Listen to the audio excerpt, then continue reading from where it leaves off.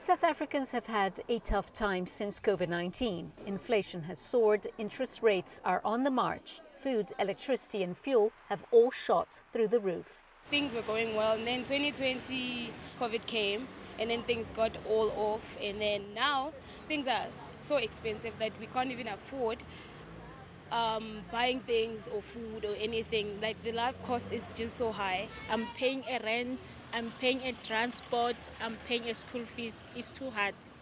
Uh, we had a problem about a, a job. Uh, I'm working for myself, like cooking a magwinya to get her food. I borrow money because sometimes I have a problem Consumers desperate to stretch their income are increasingly turning to buy now, pay later offered by online retailers. It allows credit free purchases over several weeks or months, an attractive alternative to traditional credit. Consumers are not in a position to be making big commitments like that, um, whether they can pay for it cash or you know commitments that require some level of credit, whether um, you know uh, more specifically unsecured, I guess um, in this case. I think that they would rather uh, not use credit to, to service those type of items.